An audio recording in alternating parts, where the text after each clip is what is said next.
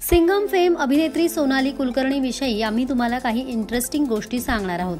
सोनाली कुलकर्णी यांचं मराठी इंडस्ट्रीमधील प्रसिद्ध दिग्दर्शक आणि अभिनेते चंद्रकांत कुलकर्णी यांच्याशी लग्न झालं होतं. चंद्रकांत कुलकर्णी यांनी वाडा चिरेबंदी गेट वेल सून अशी नाटकं याशिवाय आजचा दिवस माझा फॅमिली कट्टा कायद्याचं बोला यांसारखे सिनेमे दिग्दर्शित केले आहेत. सोनाली कुलकर्णी आणि चंद्रकांत कुलकर्णी यांच्यात काही कारणांमुळे दोन हजार दहा साली घटस्फोट झाला.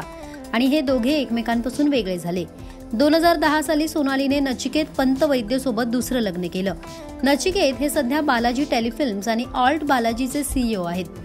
सोनाली आणि नचिकेत यांच्या मुलीचं नाव कावेरी आहे. तर मग तुम्हाला सोनाली कुलकर्णी आवडते का? तिची आजवरची कोणती भूमिका तुम्हाला सगळ्यात जास्त आवडते? कॉमेंटमध्ये नक्की सांगा.